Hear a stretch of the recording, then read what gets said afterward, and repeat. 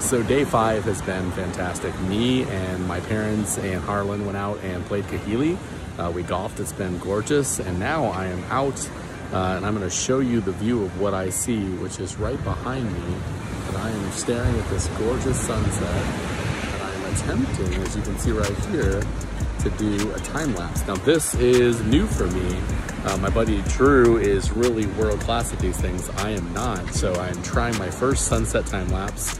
I have no idea if I'm using the right settings, but I'm gonna give it a shot. I'm gonna play it for you here at the end of this uh, vlog. Um, but day five has been great. Lindsay and the kids went out and played by the pool.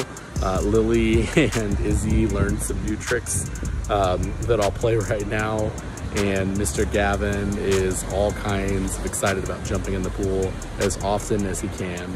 Uh, we just had dinner and I'm sitting outside enjoying this gorgeous sunset, um, getting ready to record this time lapse and then hopefully get to bed early because um, tomorrow is our last full day on Maui. We have Sunday as well. We don't fly out until late.